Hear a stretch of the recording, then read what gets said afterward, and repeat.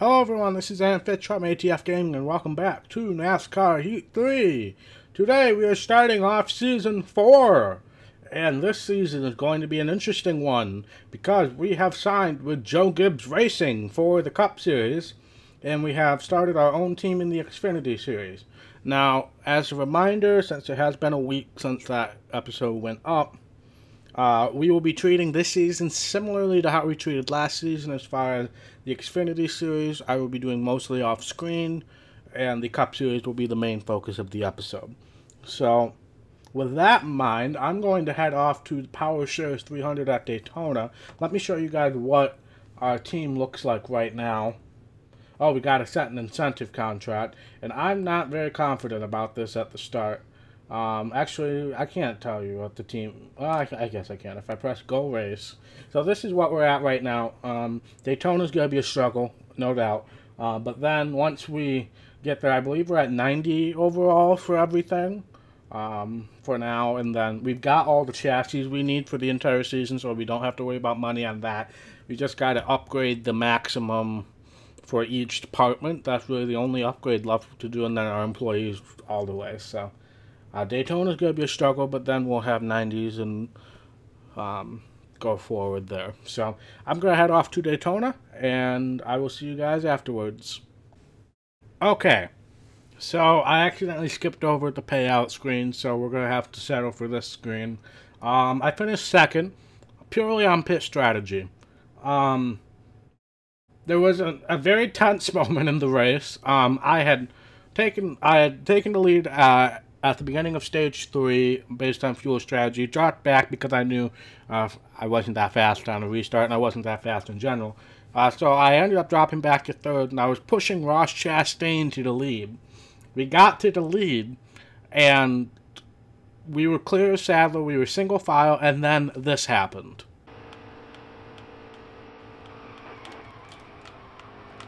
You got room, you're clear. Hold your line, got one inside car there on the inside.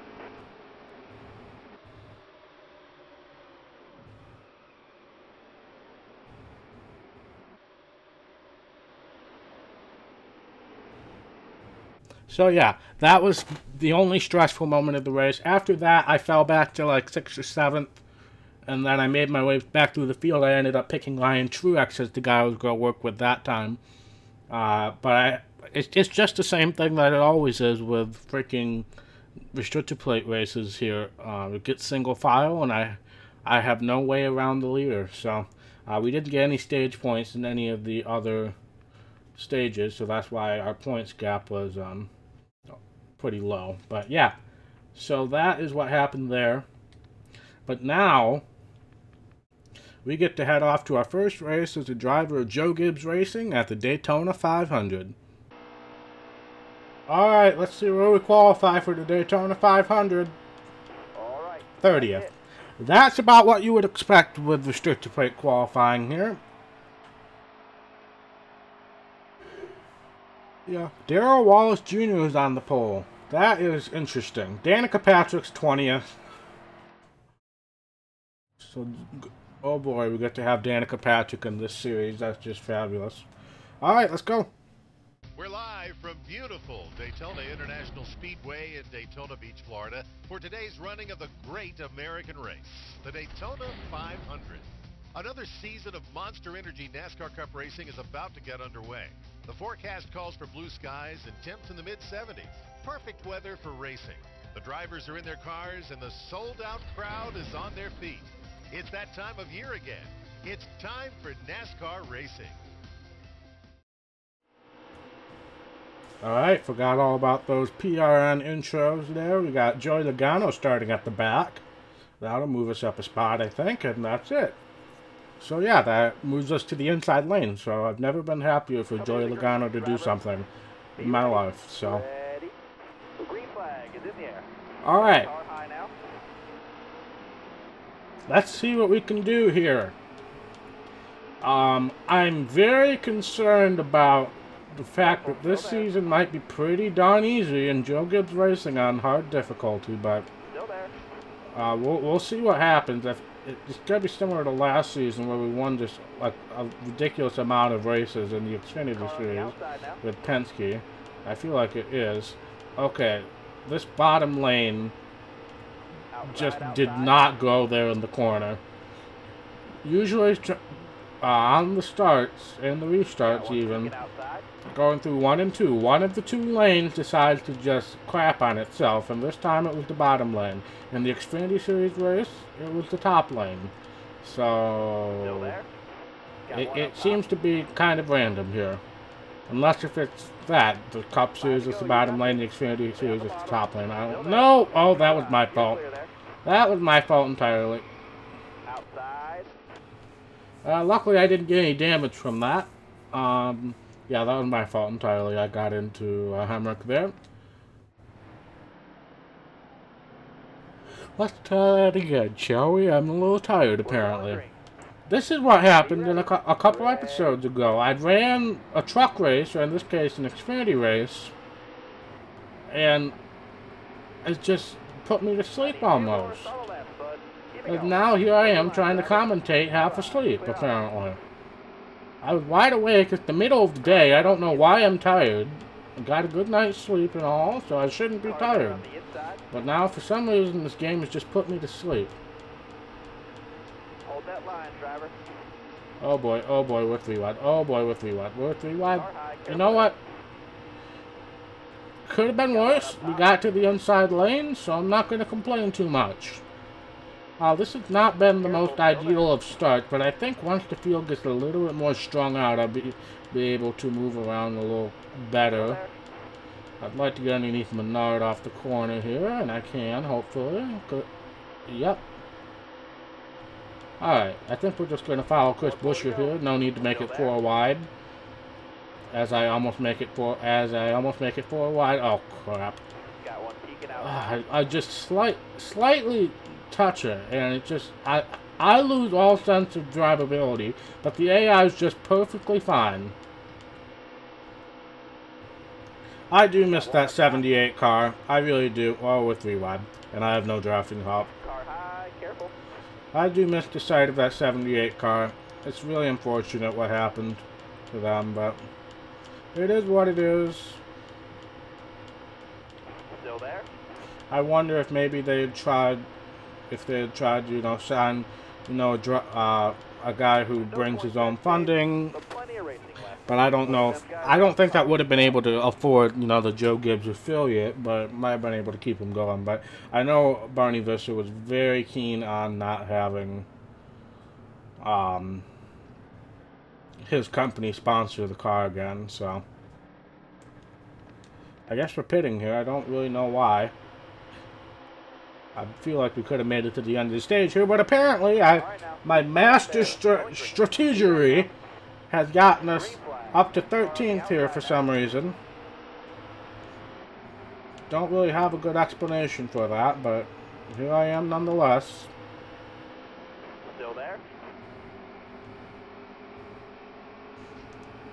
You know, I raced all these against all these cars in the Fantasy Cup. Which just ended, by the way. I hope you guys enjoyed that ending. Um, we were both kind of a little salty at the end, so I'm glad that Mr. Uh, Mr. McBlim made that kind of nice outro for us because we really didn't do it justice uh, at the end. I know.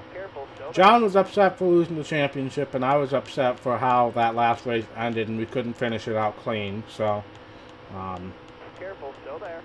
So we didn't necessarily have the best outro there. So Mr. McBlam kind of put it together a little thing, and and uh, if you haven't already, be sure to check out Mr. McBlam. Um, he has multiple channels. His channel that does a lot of different reviews, like movie reviews and stuff. Uh, it's called McBlam Entertainment. I know that's that's kind of a collaborative channel with a couple other people. Uh, but he also does gaming content on McBlam Gaming, clear up top. and he does racing content at McBlam Racing. He's he's really focused on you know not having variety channels, so he decided to make like four or five different channels for himself. Meanwhile, while I'm praising Mr. McBlam, uh, we're in the top five, so I guess I should do that more often. Is that something that me and John discovered while we were racing at Homestead? Like we were talking about Mr. McBlam, and then we we were having a good, clean race and and all that. I feel like that's something that. Why am I helping Ricky Stenhouse instead of my teammate? Who freaking knows? But I wouldn't mind a stage victory here. It's just a matter of whether I can somehow coerce a way around Stenhouse here. But yeah, so I hope you guys enjoyed that. Um, as of now, there are no plans to do a different kind of fantasy cup as far as you know Formula One, or we had even discussed doing a Wreckfest fantasy cup, and that that would probably be more likely than Formula One. But the thing with Wreckfest is it's so unpredictable, like even more than what our NASCAR Heat 3 Fantasy Cup was. And I just feel like it- it'd be really hard to de- determine like a merit system for a winner on that because it's just so predictable. The a- or unpredictable. The AI is just a mess, and it's really. Oh, we got an Stenhouse here. Let's see if we can complete the pass or not. So I, I don't know how that would work, uh, or if we just do a kind of like a for fun series thing, maybe get a couple other people in. We cleared the pass. We cleared the pass. We made the pass, and we cleared Stenhouse. I can blind. Um, so yeah, we did it. Um, I, I have only a couple laps left to go, so stay with it. But yeah, there's no plans as of right now to do it. I think me and John are both kind of in the boat of taking a break from uh, competing against each other in racing games. um, because Fantasy Cup definitely brought out some interesting emotions and um, frustrations, I guess. I, I most of the frust. Oh, Somebody crashed, so that's the end of the stage. Hey, we won a stage! How about that? How about that? Uh, and we're pitting again. Uh, looks like another two-tire stop. And we maintain the lead. Oh boy. You know, I I was talking earlier about how Going green. Red. I was I was uh, concerned about how easy this would be. And those concerns are starting to come to fruition here. Uh, let, well, let me attempt to maintain this lead before I say anything about that. Because, at least in most vehicles, once we hit fourth gear, we kind of just stall out. And that does appear to be the same situation here. However, it's our teammate who's caught us. So hopefully he's, he's very nice and and not at all like a normal Kyle Busch, and maybe he'll help us. Unfortunately, he decided to take the outside lane, so um, Mr. Chase Elliott might have a better line here for us to follow. Oh, Busch is kind of powering around the outside here. Oh, I was too late to block. Okay. Oh, and I'm too late to block Elliott, too. Okay, bye, everyone. now. Car on the outside now. I, I knew I wasn't going to maintain that lead. I was surprised how good Kyle Busch managed to stay there on the outside. I I know I can't do that if I tried, but I guess the AI live under different standards. Um, but yeah, I mean, I wouldn't mind. Oh, Kyle, why do you have to go to the outside? I would help you as you are a teammate, even though I can't stand you winning. Uh, but Chase Elliott, unfortunately, decided to take the correct lane at Daytona, and so I'm going with him. Apologies, teammate. It's not a good start to our relationship, I know, blah, blah, blah, blah, blah. Alright, so we're going to work with Chase Elliott here a bit. We got 10 laps. But yeah, so let me talk a little bit about the schedule and the channel as a whole, as I apparently get underneath Chase Elliott.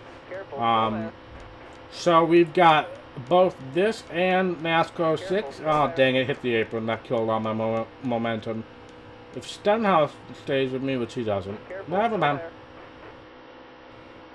Um, we'll try to side draft a bit. Oh boy, we got to. I'll block the inside. We get we got a gaggle of cars behind us. But uh, we got both this game and NASCAR 6 going twice a week.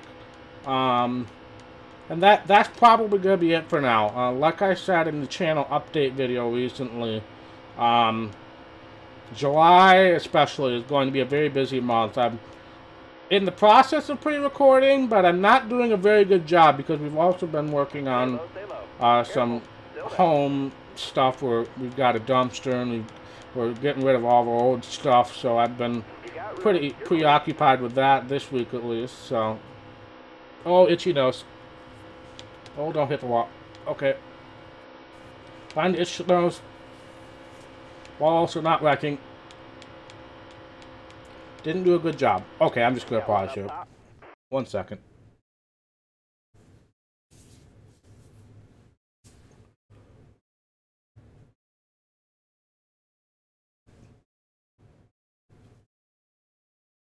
Oh boy. Alright. That was one itchy nose right there. And I still haven't completely gotten it fixed, but it's better. But uh, yeah, we've been doing some house, you know, Stay low, stay low. I wouldn't say renovations, but just kind of, you know, c- clearing out all the stuff that, you know, has been sitting in our house for many years. So, uh, been working hard on that. Uh, so I haven't gotten as much time to record as I would have liked over the last couple of days, but hopefully I can, you know, kind of sit down and Careful, get a little better at that these next couple days. But um, and if not, you know, I might be missing an episode here or there in the coming weeks. Um, the last two weeks of July are really where the busyness uh, is going to be. So even even like next week or or this week and next week, um, Careful, won't be- as bad of a situation. Oh, block Ryan Blaney. Where did he come from? One outside now. So, we managed to pass Chase Elliott that one time, but other than that, I have not been able to actually clear and make the pass. But I've kind of got an idea as to how I might be able to do it. Because he does seem to have a tendency to wash off the corner. If I can time a run like this, kind of, uh, only get get more of a run before I make the move. I think that's the thing. I really need to charge up a run, lay back a bit, and then get a huge run down the backstretch, and then get underneath All right, him. And actually, that cleared him. Wasn't expecting to clear him there. Alright. But if we do end up behind, you know, Blaney or Elliott or Busch or something, we at least kind of got a strategy now. Was not expecting to clear him there. I was expecting, you know, similar thing to what happened earlier. And now he's starting to fall back as well. Are we still 2 by 2 back there? Let me look. Uh, yeah, we're pretty much 2 by 2 all the way back through the field right now, so... The outside lane definitely has some possibility to be um, in in the fold here. It's not just kind of a dead dead man walking situation there. Um, now we got Kyle Busch kind of coming back into the fray here. They're pitting. Excuse me? Five laps to go. We're one lap short on fuel? You've got to be kidding me. Okay, well, that changes things a bit. Um, yeah. Yeah, there's no way I could make it. Um, okay, well, now we got to... Oh, there's a bug. We got to make a clean entry to pit road, get a splash of fuel. Never mind. That sucks because all those people who were on pit road are now going to pass us. Oh, that is really unfortunate. Um, do that, no tires. Well, that probably takes the win out of our hands right there, unfortunately. But um, we'll we'll try to make the best out of it here. We got a couple slow cars right here. If we can get by them pretty quickly, um, might be able to make a run at it. But yeah, I was not paying attention to fuel, and I was not aware that we had to make a pit stop there. But you know what? We passed a bunch of cars there already, so uh, I'm assuming this is green white checkered situation. Yes, it is. Careful. Still there. This was not the smart decision, I don't think. Car on the outside now. No, it most definitely was not. Car on the outside. I gotta I gotta put my leader brain away from my in the pack brain. Because that was a move that I would make if I was, you know, in second place, but not while I'm in tenth place. And I also wasn't fully up to speed either, so that probably didn't help the situation either. Okay. So yeah, winning unless if a miracle happens here, which Careful. Still very possible. If I can get a run on Elliott here, that's a start. Um, but we kind of need a miracle to happen in order to Oh, if I can just get under Stenhouse here and have somebody in front of me. Jimmie, yeah, come down, Jimmie, yeah. Okay, we're still going to be three wide going into the corner. Okay. If Jimmie washes up a bit, he kind of does. Kind of does. Not enough, though. Okay. Well, I mean, let's push Jimmie to the win if we can. It's going to be close between those two, that's for sure, but I think Jimmie's got it. Good for him, good for him. Good for him. But that was an unfortunate circumstance to end what was a really good race. And I think I definitely could have won if I had managed to get on the pit road cleanly and all that. Um, but yeah, it is what it is. I mean, third place effort in our first race as a full-time driver. Can't complain too much about that. Let's see if I can get a better angle on that. Oh yeah, right there. That's our that's our thumbnail angle right there. Beautiful. But yeah, Jimmie Johnson wins the Daytona 500 by 4 one hundredths of a second. 4 one hundredths of a second. Uh, Trevor Bayne did not finish the race. We got some unusual characters in the back. Uh, there's our wreck that we caused earlier. But yeah, overall a decent race. Payday, I'm assuming, going to be really good. Yeah, yeah, that's a really good payday. So you can't go wrong with that. Uh, we're fifth in the point standings. We did get that stage win, so that'll help us a bit in the playoff points department. But good for Jimmie. I mean, I, I, I had a choice there. Jimmie was on the inside lane, so I took it. Uh, so yeah, let's head back to the menu. 47,000 fans after that race, and that puts a notch on our incentive contract as well. No messages from anybody. Wow, okay. Guess people weren't that impressed, huh? But uh, Atlanta, I assume for both series, is what's going to be next on the docket. Uh, yeah, so that's going to be it for this episode. Hope you guys enjoyed. Uh, if you did, be sure to hit that like button. And if you want to see more content from ATF Gaming, be sure to hit that red subscribe button. It really means a lot to me, and I will see you in the next episode. Bye.